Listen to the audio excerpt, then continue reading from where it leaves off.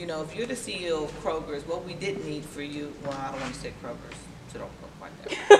But if you're, if, if you're, if you're the one to making decision corporately, why do you think that we would not, a a target, you know, like a, a large target, targeted, uh, department store would not make it in our neighborhoods? They will make it in our neighborhoods. We spend money every day.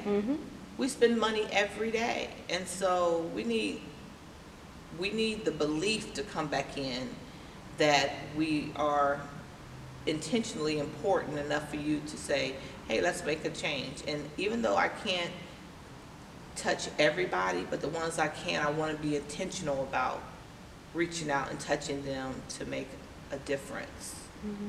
Even if it's just one meal, that, that's one, if it's one meal that I bless the family with, that's one night that they don't have to be hungry. Yep. And I want to be intentional about it to let them know like I, I care and I get it.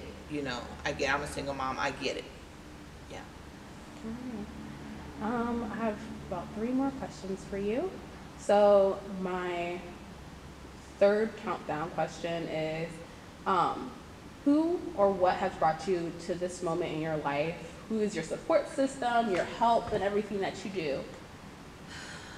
Um, I have to say, um, my grandmother and grandfather, I grew up on a, I grew up in Columbus, but everything that we've done, uh, was from a little town in North Carolina.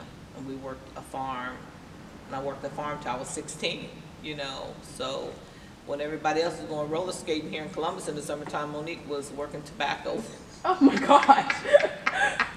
So, I mean, but it, but you know what, it's, I wouldn't trade it for anything. It gave me such a work ethic and such an ethic to be caring about other people genuinely, not because you're gonna get something out of it. Sometimes you get nothing but get your feelings hurt or burnt out of it, but you still do it because it's just who you've been created to be and created to do. So I would have to say my grandparents, my um, mother, my sister um, has always been one that would say to me, you want to be the lender and not the borrower. And so anytime I feel like I'm fussing about something, she'll go, well, at least you're not the borrower. So imagine how they have to feel to ask for help. Mm-hmm. So I always like keep that forefront, like I want to be the lender and not the borrower. And so that could be just if my neighbor calls and says, hey, I don't have any food and I'm cooking a meal, I could then say, hey, I cooked the meal, come on, send the kids over and get this meal and y'all, y'all eat on it. She texted me last night like I missed your cooking. And I said, I'll cook this week for you, you know, but it's, it's just one of those type of things. So they have been, um, really, you know, amazing without me tearing up. Amazing. I just really had, unfortunately, I, I know a lot of people that don't have the amazing roots that I have, but I have very good, strong, amazing roots to know where we, exactly where we came from, all the way back to uh, the plantation. And so that's been instilled in me, and I keep instilling it into my children. So, That's yeah. amazing. Um, I still have three questions left out of four now because I just thought about it. What's your favorite meal to cook for other people? I just love to cook. In general?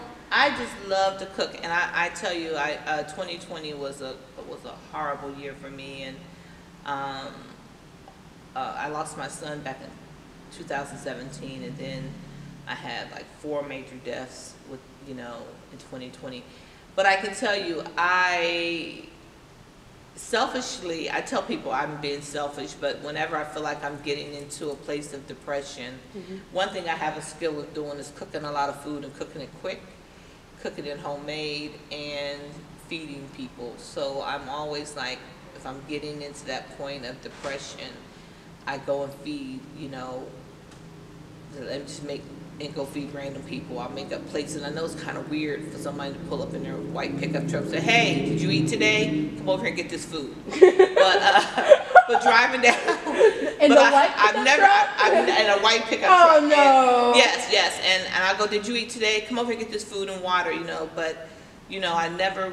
You know, it could be driving down Sullivant Avenue, it could be driving down Fifth Avenue, it could be down Cleveland Avenue, it could be behind Faith Mission on off Long Street. It could be wherever I load up. If I got 30 meals, but it's a way for me to keep myself grounded and appreciative and humble. So my favorite thing to cook would be I, I don't have a favorite thing, um, but there's something about cooking a big Sunday dinner.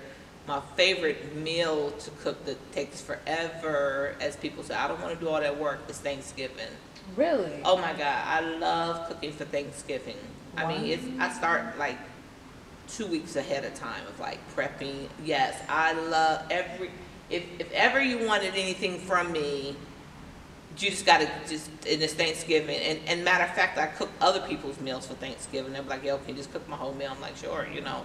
It's just something I'm just, it's just the gratitude and the thankfulness. I'm glad we take one day to say, this is the time of bounty. Even though we're in a land of plenty, it's not always bountiful for everybody. But that one day, we try to make it bountiful. And um, my my family would say Monique just bought in random people. They was at the bus stop and they didn't have Thanksgiving meals, so she just come over and get some Thanksgiving food. So I'm known for just bringing in random people. Like, did you eat today? It's Thanksgiving. Come over here and get you a plate. You know.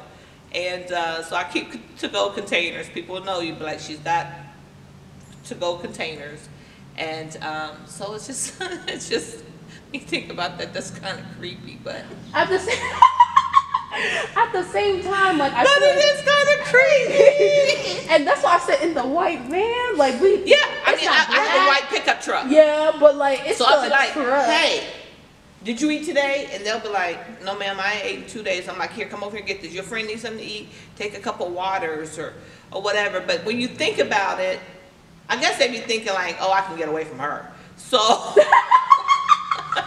so they're not really. So they're not. they're not really fair. Okay, fair enough.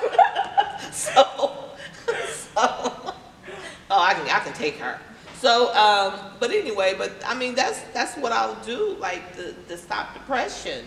You know, like I'd have to know there's somebody. At least I have shelter. Yeah. Someone else didn't have shelter, and they had nothing to eat. Mm-hmm. So, yeah, You have to be grateful and you have to be grateful and thankful and humble. and humble. Never forget.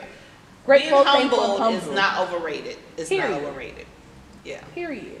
I know that your meals be having people in the itis. I know. I hope so.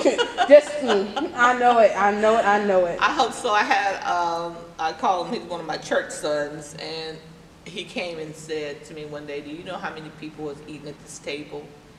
And I was like, I wasn't thinking about it. He said, no, really think about it. Like, we can't even count how many people that had at this really huge table that like sat like 10 people. Mm-hmm. And he's like, do you know how many meals and people have really sat at this table? And I was like, he's like, that's such a compliment because some people be like, oh, about six of us sit at our table. But there's been hundreds of people that come in here and sat at this table. And that's what you want, you know, in life. You want people to want to come and sit at your table, you know? Yes. Oh my gosh. Damn. Now I want to try some of your food. Go. Let me know. I'll cook for you. oh, please. Tell me what you like. I do love me a good mashed potatoes, Oh, some yeah. Some homemade macaroni. I love some mashed potatoes and some fried chicken. I make some really good garlic mashed potatoes. I And I, and you know what? I have to say, whenever you have grown men come to you and they be like in their sixties, like, and they there with their wife they've been married to for thirty years, and they go, "I swear to God, these are the best mashed potatoes I ever had." And I'd be like, Uh, she you be like, and she'll be like, "Yeah, they were good." She, you right?